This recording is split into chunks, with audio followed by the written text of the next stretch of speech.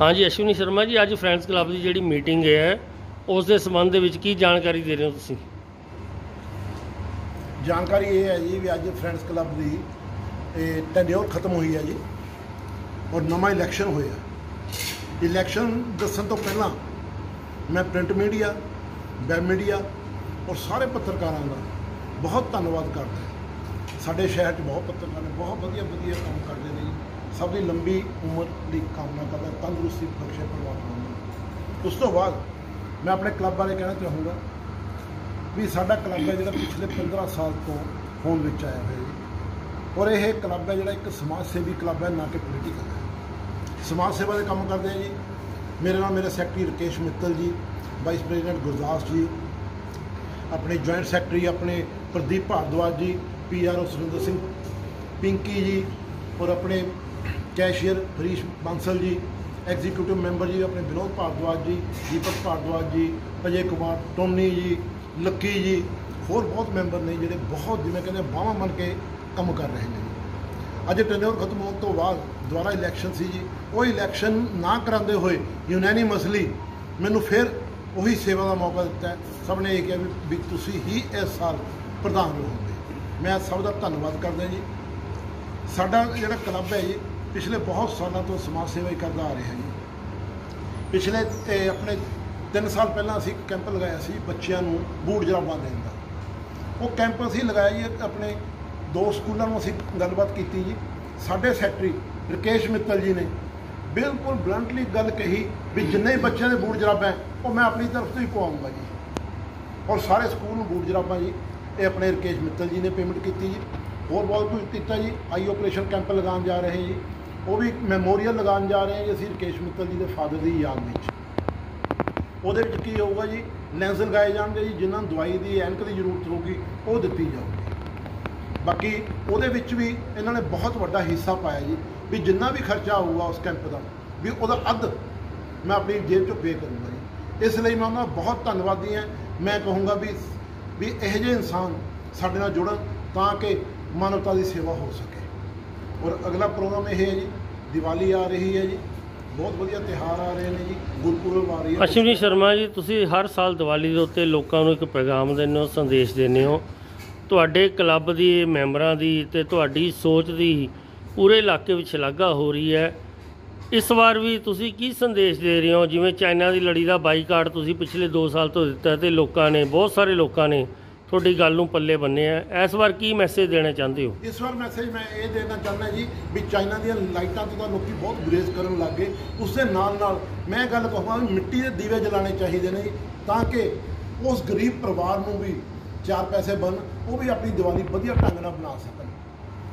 ਜੇ ਅਸੀਂ ਮਿੱਟੀ ਦੇ ਦੀਵੇ ਖਰੀਦਾਂਗੇ ਤਾਂ ਉਹ ਪੈਸੇ ਬਣਾ ਮਿਲਣਗੇ ਜੀ ਉਹਨਾਂ ਨੂੰ ਵਟਣਗੇ ਜੀ।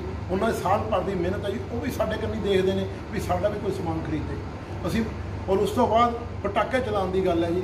ਦੇਖੋ, ਮੇਰੇ ਕਹੇ ਤੇ ਕਿਸੇ ਨੇ ਰੁਕਣਾ ਨਹੀਂਗਾ ਲੇਕਿਨ ਮੈਂ ਇੱਕ ਬੇਨਤੀ ਜ਼ਰੂਰ ਕਰੂੰਗਾ ਸਮਾਜ ਨੂੰ, ਆਪਣੇ ਸ਼ਹਿਰ ਨੂੰ ਵੀ ਪਲੀਜ਼ ਜੇ ਤੁਸੀਂ ਪਟਾਕੇ ਚਲਾਣੇ ਹੈ, ਉਸ ਤੋਂ ਪਹਿਲਾਂ ਇੱਕ ਗੱਲ ਦਾ ਧਿਆਨ ਰੱਖੋ ਕਿ ਤੁਹਾਡੇ ਆਸ-ਪਾਸ ਕੋਈ ਬਜ਼ੁਰਗ, ਕੋਈ ਬਿਮਾਰ, ਕੋਈ ਹਾਰਟ ਮਰੀਜ਼ ਤਾਂ ਨਹੀਂ ਹੈ।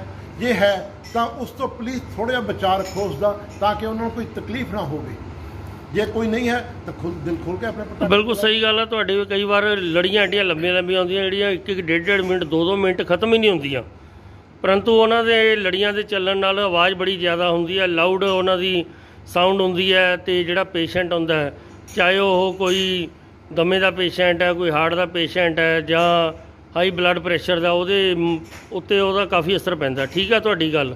ਹੋਰ ਇਹ ਤੋਂ ਇਲਾਵਾ ਤੁਸੀਂ ਕੀ ਸੰਦੇਸ਼ ਦੇਣਾ ਚਾਹੁੰਦੇ ਹੋ ਇਸ ਤੋਂ ਲੋਕਾਂ ਨੂੰ? ਇਲਾਵਾ ਜਿਹੜਾ ਸੰਦੇਸ਼ ਹੈ ਜੀ ਇਹ ਉਹ ਪਿਛਲੇ 4 ਸਾਲ ਤੋਂ ਜੀ ਸਾਡੇ ਕਲੱਬ ਦੇ ਸੈਕਟਰੀ ਜੀ ਰਕੇਸ਼ ਮਿੱਤਲ ਜੀ। ਉਹ ਜੀ ਦੀਵਾਲੀ ਵਾਲੇ ਦਿਨ ਪ੍ਰੋਪਰ ਦੀਵਾਲੀ ਵਾਲੇ ਦਿਨ ਜੀ, ਆਪਣੀ ਕਾਰ ਭਰਦੇ ਨੇ ਜੀ ਮਠਿਆਈ ਦੇ ਡੱਬਿਆਂ ਨਾਲ। ਉਹਦੇ ਵਿੱਚ 100 ਡੱਬਾ ਆਵੇ ਜੀ 150 ਡੱਬਾ ਆਵੇ 120 ਜਾਂ 125 ਜਾਂ ਉਹ ਕੱਟ- ਰੱਖਦੇ ਨੇ ਜੀ। ਬੇਟਾ ਉਹਨਾਂ ਦਾ ਨਾਲ ਹੁੰਦਾ ਜੀ। ਉਹਨਾਂ ਦੀ ਡਾਟਰ ਨਾਲ ਵੀ ਨਾਲ ਹੁੰਦੀ ਹੈ ਜੀ। ਔਰ ਪੋਤੀ ਵੀ ਨਾਲ ਹੁੰਦੀ ਹੈ ਜੀ। ਉਹ ਲੈ ਕੇ ਜਾਂਦੇ ਜੀ ਗੱਡੀ। ਉਹ ਗਰੀਬਾਂ ਨੂੰ ਉਹ ਮਠਿਆਈ ਦੇ ਕੇ ਆਉਂਦੇ ਨੇ। ਇਹ ਜਿਨ੍ਹਾਂ ਨੂੰ ਬਹੁਤ ਕੋਈ ਪੁੱਛ ਤੱਕ ਨਹੀਂ ਜਾਂਦਾ। ਕੋਈ ਕਾਗਜ਼ ਚੁਗ ਰਿਹਾ ਕੋਈ ਆਪਣੇ ਹੁਣ ਮੈਂ ਕੀ ਦੱਸਾਂ ਵੀ ਕਿੰਨੇ ਕਿੰਨੀ ਗਰੀਬੀ ਜਿਵੇਂ ਕਹਿੰਦੇ ਆ ਉਹ ਉਹ ਚੀਜ਼ਾਂ ਚੱਕ ਕੇ ਖਾਂਦੇ ਆ ਜਿਹੜੀਆਂ ਕੰਨੀ ਅਸੀਂ ਦੇਖਦੇ ਨਹੀਂਗੇ ਮੈਨੂੰ ਯਾਦ ਹੈ ਅਸ਼ਵਨੀ ਸ਼ਰਮਾ ਤੁਹਾਡੀ ਗੱਲ ਕੱਟ ਰਿਹਾ ਵਿੱਚ। ਪਿਛਲੇ ਸਾਲ ਵੀ ਇਹਨਾਂ ਨੇ ਮਿੱਤਲ ਸਾਹਿਬ ਨੇ ਡੱਬੇ ਵੰਡੇ ਸੀ ਮਠਿਆਈਆਂ ਦੇ। ਮੈਂ ਤੇ ਇਸ ਵਾਰ ਵੀ ਬੜੀ ਖੁਸ਼ੀ ਦੀ ਗੱਲ ਹੈ ਜਿਹੜੀ ਤੁਸੀਂ ਸਾਨੂੰ ਜਾਣਕਾਰੀ ਦਿੱਤੀ ਹੈ। ਪਰੰਤੂ ਇਹ ਕਿਹੜੇ ਖੇਤਰਾਂ ਦੇ ਵਿੱਚ ਡੱਬੇ ਵੰਡ ਕੇ ਆਉਂਦੇ ਨੇ? ਇਹ ਜੀ ਸਲਮ ਏਰੀਆ ਸੀ ਸਲਮ ਏਰੀਆ 'ਚ ਵੰਡ ਕੇ ਆਉਂਦੇ, ਜਿੱਥੇ ਬਹੁਤ ਜ਼ਿਆਦਾ ਗਰੀਬ ਲੋਕ ਹੈ ਜੀ। ਇਹ ਲੇਕਿਨ ਇਹ ਨਹੀਂ ਨਹੀਂਗਾ ਵੀ ਜਿਵੇਂ ਚੁੱਪ, ਆਪਣੇ ਚੋਪੜ ਪੱਟੀ ਹੈ ਜੀ, ਵੀ ਉੱਥੇ ਦਾ ਬਹੁਤ ਬੰਦੇ ਬੈਠੇ, ਐਸੇ ਬੰਦੇ ਬੈਠੇ ਜਿਨ੍ਹਾਂ ਕੋਲ ਤਾਂ ਬਹੁਤ ਪੈਸੇ ਹੈ, ਕ੍ਰਾਈਮ ਕਰਦੇ ਸ਼ਰਾਬਾਂ ਪੀਂਦੇ। ਲੇਕਿਨ ਉਹ ਲੋਕਾਂ ਨੂੰ ਦਿੰਦੇ ਜਿਵੇਂ ਕਹਿੰਦੇ ਆ, ਕੋਈ ਬਿਲਕੁਲ ਲਵਾਰਿਸ ਸਟੇਸ਼ਨ ਤੇ ਸੁੱਤਾ ਪਿਆ ਜੀ ਰਾਤ ਨੂੰ। ਜਾਂ ਕੋਈ ਬੱਸ ਸਟੈਂਡ ਤੇ ਪਿਆ ਹੈ, ਕੋਈ ਵੈਸੇ ਸੜਕ ਦੇ ਉੱਤੇ ਪਿਆ ਇਹ ਉਹਨਾਂ ਨੂੰ ਦੇ ਕੇ ਆਉਂਦੇ ਨੇ ਜੀ। ਇੰਨੇ ਖੁਸ਼ ਹੁੰਦੇ ਆ ਜੀ ਉਹ ਲੋਕ ਵੀ ਅਸੀਂ ਦੱਸ ਨਹੀਂ ਸਕਦੇ। ਮੈਂ ਤੁਹਾਨੂੰ ਗੱਲ ਦੱਸਦਾ ਜੇ ਮੈਂ ਨਾ ਭੁੱਲਦਾ ਵਾਂ ਤਾਂ 2016 ਦੀ ਗੱਲ ਹੈ ਜੀ। ਰਕੇਸ਼ ਜੀ ਨੇ ਸਾਡੇ ਆਪਣੇ ਕਲੱਬ ਦੀ ਮੀਟਿੰਗ ਦੇ ਵਿੱਚ ਇੱਕ ਗੱਲ ਬਹੁਤ ਵਧੀਆ ਸ਼ੇਅਰ ਕੀਤੀ ਵੀ ਜੇ ਆਪਾਂ ਦੀਵਾਲੀ ਮਨਾਣੀ ਹੈ ਆਪਣੇ ਹੀਰੋਜ਼ ਨਾਲ ਮਿਲਾਓ। ਜਿਹੜੇ ਆਪਣੇ ਅਸਲੀ ਹੀਰੋ ਨੇ ਜੀ ਉਹ ਨੇ ਜੀ ਆਪਣੇ ਫੌਜੀ। ਵੀ ਤੁਸੀਂ ਮਠਿਆਈ ਦਾ ਇੱਕ ਡੱਬਾ ਦੇਣ ਜਾਣਾ ਤਾਂ ਫੌਜੀਆਂ ਦੇ ਪਰਿਵਾਰ ਨੂੰ ਦੇ ਕੇ ਆਓ।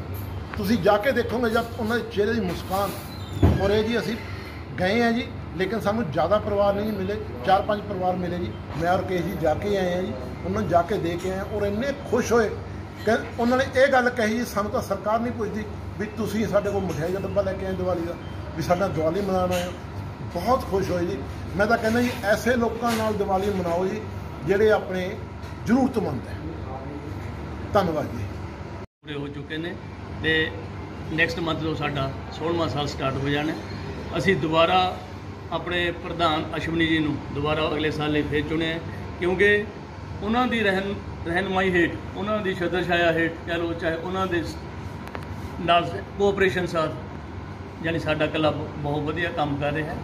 ਤੇ ਅਸੀਂ ਰੱਬ ਅੱਗੇ ਹੀ ਦੁਆ ਕਰਦੇ ਹਾਂ ਕਿ ਸਾਤੋਂ ਜੋ ਵੀ ਹੁੰਦਾ ਮਾਨਵਤਾ ਦੇ ਲਈ ਭਲਾਈ ਦੇ ਲਈ ਸਮਾਜ ਦੇ ਲਈ ਉਹ ਸਾਨੂੰ ਪ੍ਰਮਾਤਮਾ ਕਰਾਉਂਦਾ ਰਹੇ ਤੇ ਉਹਦੇ ਨਾਲ ਹੀ ਅਸੀਂ ਮੀਡੀਆ ਵਾਲਿਆਂ ਦਾ ਬਹੁਤ ਧੰਨਵਾਦ ਹਾਂ, ਜਿਨ੍ਹਾਂ ਨੇ ਸਾਨੂੰ ਟਾਈਮ ਟੂ ਟਾਈਮ ਸਾਡੀ ਹੈਲਪ ਕੀਤੀ ਹੈ ਤੇ ਸਾਨੂੰ ਸਹਿਯੋਗ ਦਿੱਤਾ। ਥੈਂਕ ਯੂ ਖੰਨਾ ਤੋਂ ਹਰਪ੍ਰੀਤ ਸਿੰਘ ਪ੍ਰਿੰਸ ਦੀ ਖਾਸ ਰਿਪੋਰਟ।